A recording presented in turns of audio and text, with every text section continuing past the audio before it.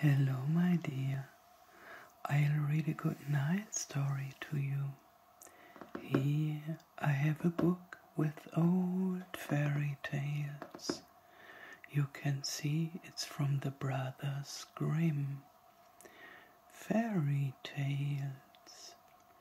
Today I read you the story The White Snake.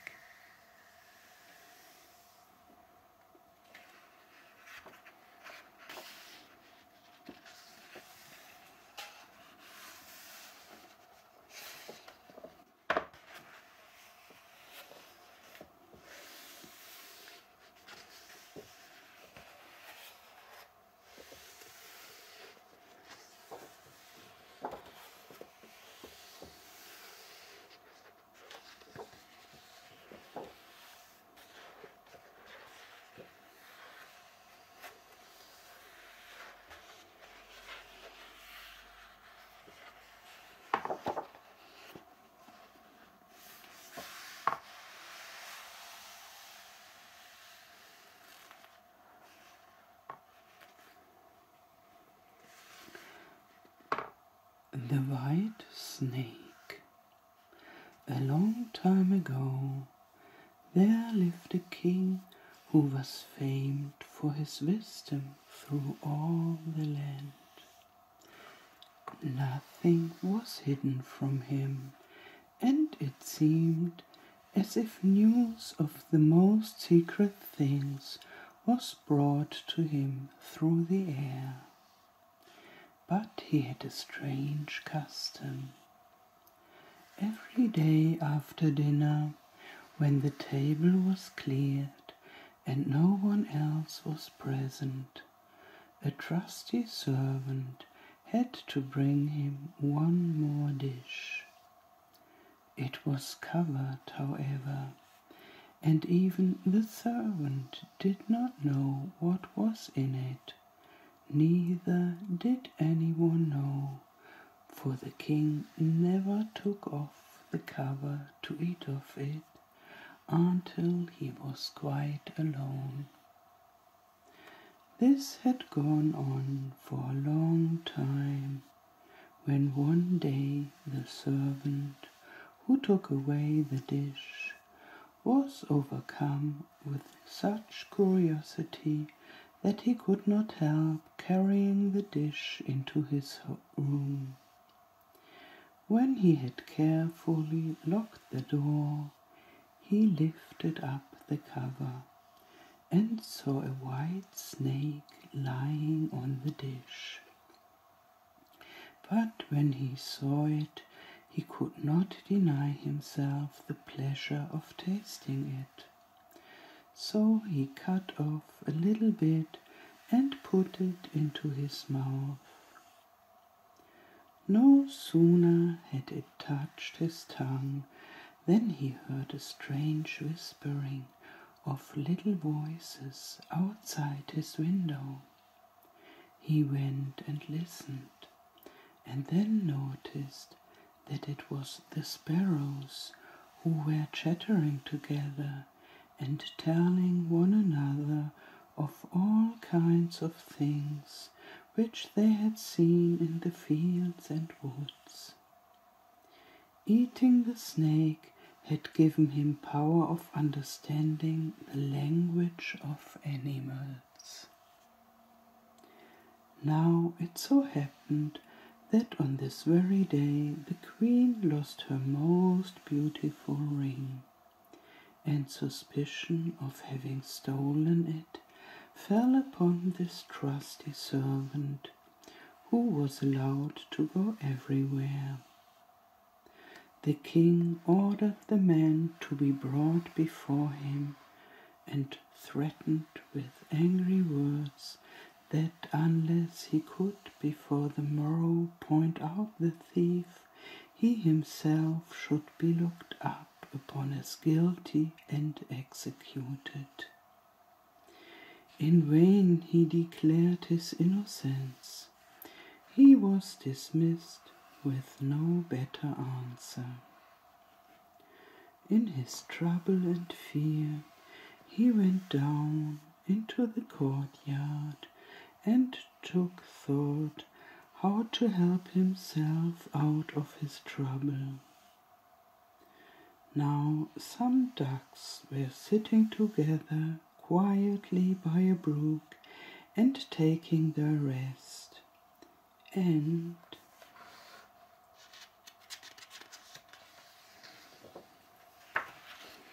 whilst they were making their feathers smooth with their bills, they were having a confidential conversation together.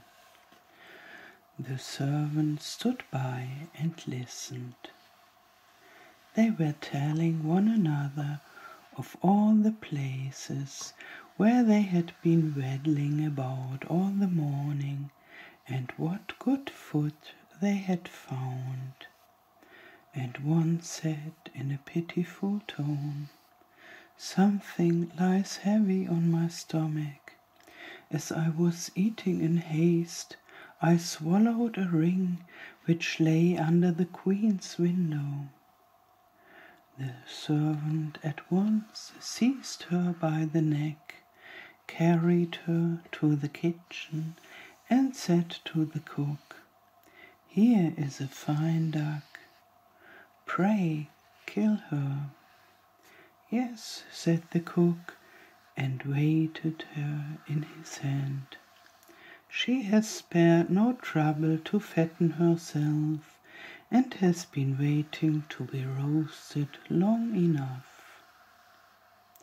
So he cut off her head, and as she was being dressed for the spit, the queen's ring was found inside her.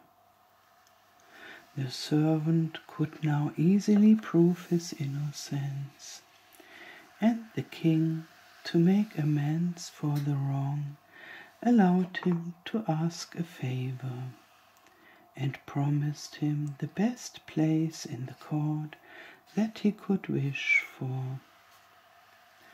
The servant refused everything, and only asked for a horse and some money for traveling, as he had a mind to see the world and go about a little. When his request was granted, he set out on his way, and one day came to a pond where he saw three fishes caught in the reeds and gasping for water. Now, though it is said that fishes are dumb, he heard them lamenting that they must perish so miserably, and as he had a kind heart, he got off his horse and put the three prisoners back into the water. They leapt with delight, put out their heads, and cried to him, We will remember you and repay you for saving us. He rode on, and after a while it seemed to him that he heard a voice in the sand at his feet. He listened and heard an ant king complain. Why cannot folks with their clumsy beasts keep off our bodies? That stupid horse with his heavy hoofs has been treading down my people without mercy. So he turned on to a side path, and the Ant King cried out to him, We will remember you. One good turn deserves another.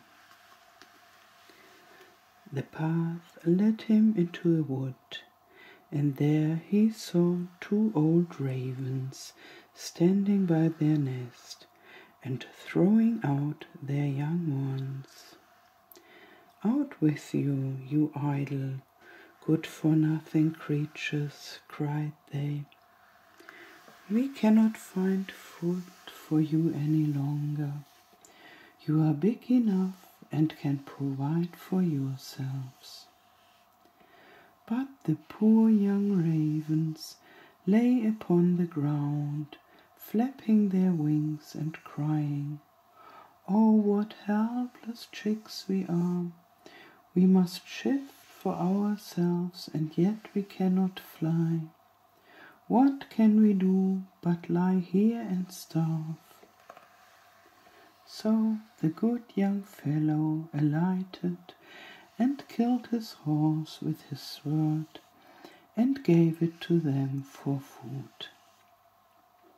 Then they came hopping up to it, satisfied their hunger, and cried, We will remember you. One good turn deserves another.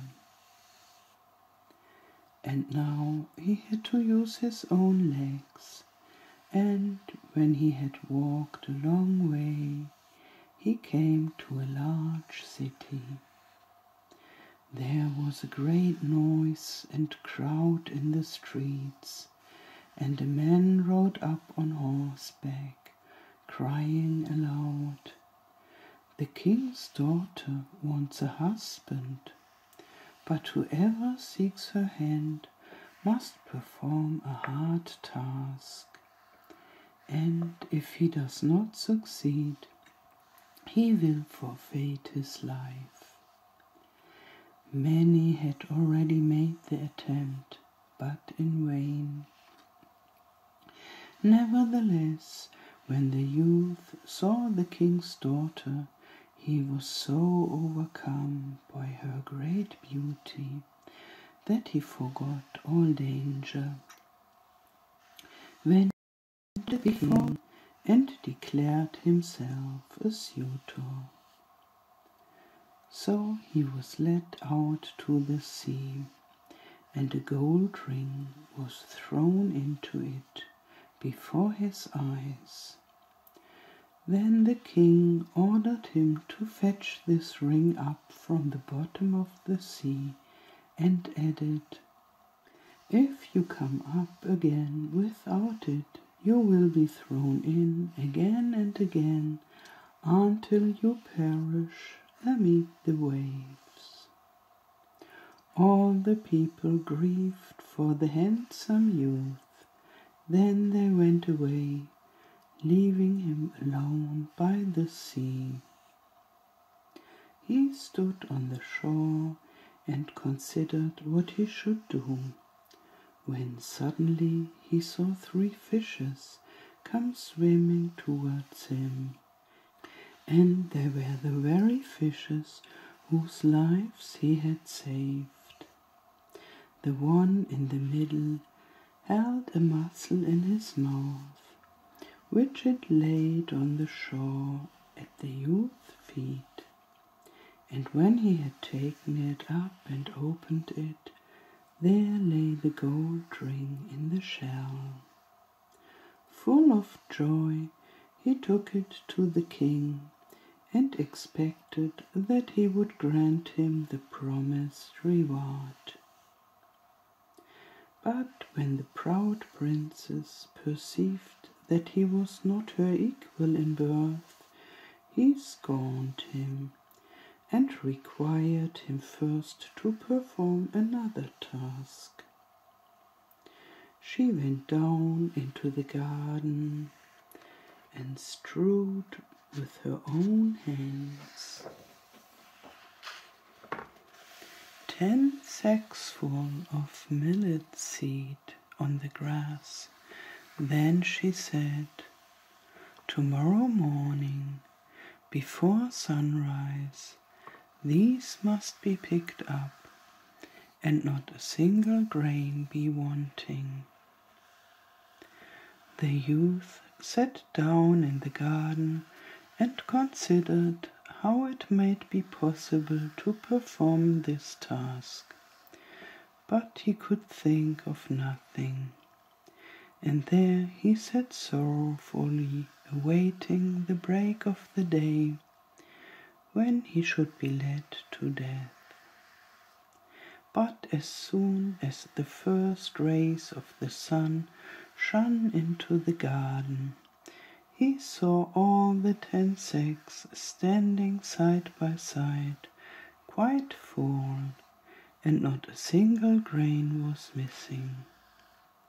The Ant King had come in the night with thousands and thousands of ants, and the grateful creatures had by great industry picked up all the millet seed and gathered them into the sacks. Presently the king's daughter herself came down into the garden and was amazed to see that the young man had done the task she had given him.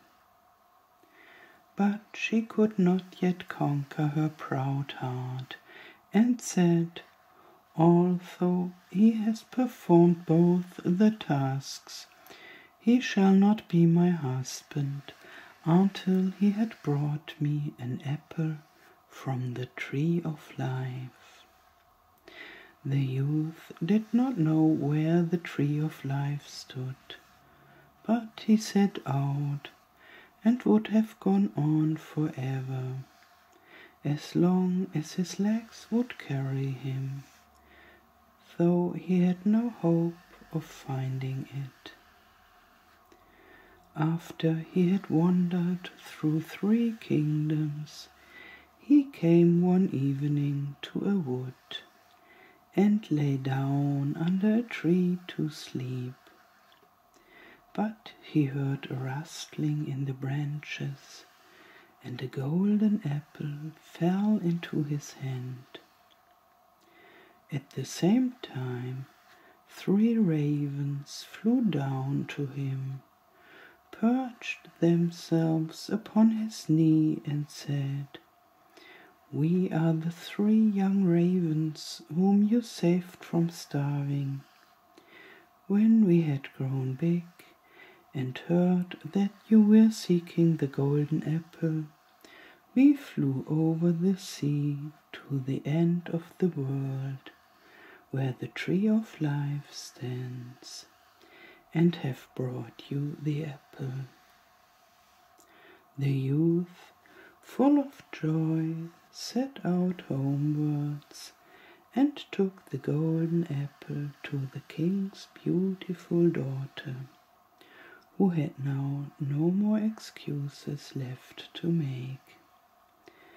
They cut the apple of life in two and ate it together, and then her heart became full of love for him, and they lived in undisturbed happiness to a great age.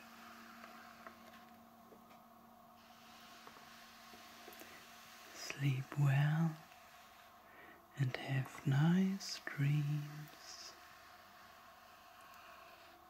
Good night.